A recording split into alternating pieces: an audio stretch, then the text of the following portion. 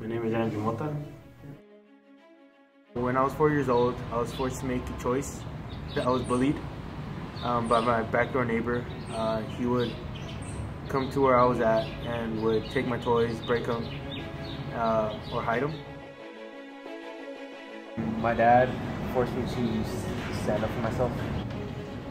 So I stood up to my bully, I got in his face and I punched him. Oh, I gave him a right hook in the face.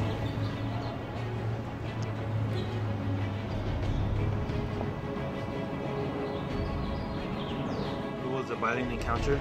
Um, afterwards, uh, we made peace. Um, I, I went up to him uh, and I shared my toys with him. In life, you have to have courage to handle situations.